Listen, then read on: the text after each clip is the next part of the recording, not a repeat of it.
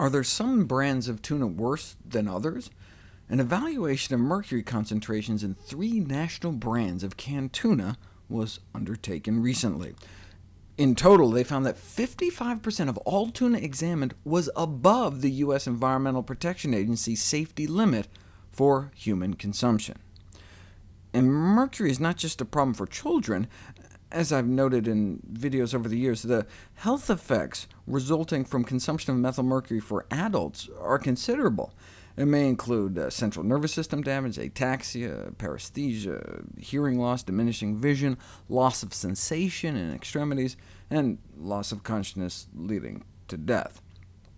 Due to the increased susceptibility of the developing nervous system, though, damages are more pronounced in uh, fetuses, infants, and children, and may include microcephaly, which is a shrunken brain, uh, delayed development, impaired cognition, and gross neurological disorders.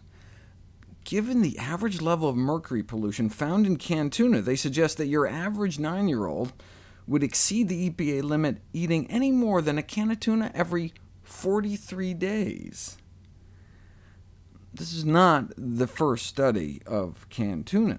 Previous studies going back nearly 20 years found levels of mercury that were bad, but not as bad as the ones found now. The problem of mercury in tuna appears to be getting worse and worse. But which brand was the worst? National brand number 3 contains significantly more mercury than the other two, but they failed to disclose which brand was which. They wouldn't say. All they said was that these results indicate that stricter regulation of the canned tuna industry is necessary to ensure the safety of sensitive populations such as pregnant women, infants, and children.